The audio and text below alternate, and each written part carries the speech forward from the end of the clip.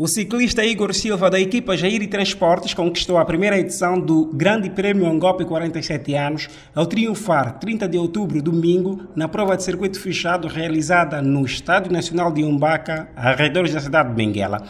Na segunda e terceira posições da classificação geral ficaram Fábio Andrade, da equipa Jair Transportes, e Cleucio Vitorino, da Escola Pipino.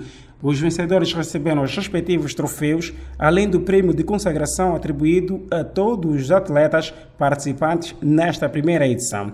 Em declaração à imprensa, Igor Silva felicitou a Angope pela passagem do 47º aniversário, bem como pela organização do GP.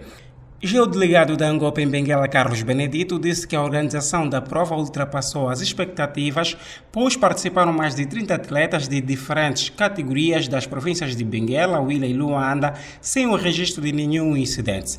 Agradeceu a colaboração do INEMA e da Polícia Nacional que trabalharam na assistência e no asseguramento da competição. A primeira edição do IGP Angope 47 anos contou com a participação de 35 atletas das equipas Jair Transportes, Escola Pepino, Duas Rodas e Lubito Bike, todas da província anfitriã, CCC-K de Luanda e UCL da Huila. Foi disputada em duas especialidades, sendo a primeira de fundo num percurso de 120 km entre a cidade de Benguela e a comuna do Dombe Grande Bahia Farta. Já a segunda em circuito fechado, de 30 km, foi realizada na zona exterior do Estádio Nacional de Umbaca.